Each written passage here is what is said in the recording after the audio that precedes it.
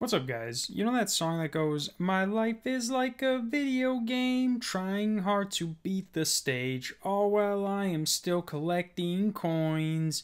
Bring!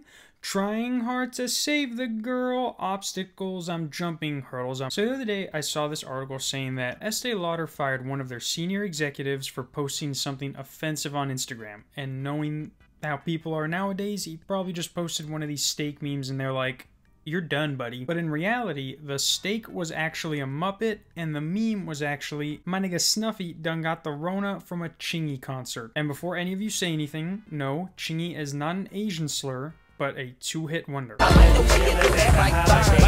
But my dude, who looks like this by the way, was like, my nigga Snuffy did get the Rona at a Chingy concert. I think my friends and family would I like to laugh at this also. And hey, look, if your family was filled with a bunch of me's, then yeah, spot on. But when your friends and family consist of people who don't even know where Chingy was chilling at, the Holiday Inn by the way, then you might want to keep this to a group chat. Or hey, Laugh at it in private. You don't see me going around posting screenshots of porn I thought was amazing. Like, if you look at his profile, he does post a lot of memes, but they're like memes a parent trying to be cool would post. Like, my mom posts pictures of Mickey Mouse dead that says fuck. Or like, as I have grown older, I have learned that pleasing everyone is impossible, but pissing everyone off is a piece of cake.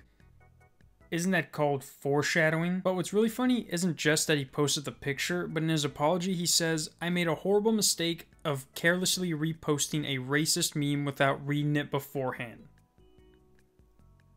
Bullshit. I know for a fact this man was laughing for at least an hour before he posted this picture. You don't get sent something like this and don't read it before you post it. What if it said, kill every baby born after 2020 or like send me crack. The rest of his apology is okay, I guess, but saying you didn't read it beforehand is like saying you didn't check if there was water in the pool before you jumped in. A majority of the memes he posts, you have to read. A better excuse would have been you thought it said ninja. And I mean, he has over 50,000 posts, and just from scrolling through, you can tell he's a heavy meme poster. Just imagine John Cena's account, but with the occasional Estee Lauder ad. I don't believe at all he posted this without reading it. I just feel like he was flying too close to the sun, thinking three asterisks was enough protection. Hopefully he rises from the ashes, but unless Chingy himself says it's okay, you're looking at an early retirement. If any big senior executives are watching this, look, if you want to post a meme you think is questionable, DM it to me and we can laugh together and then maybe talk about if whether or not you can post it. See you guys next week.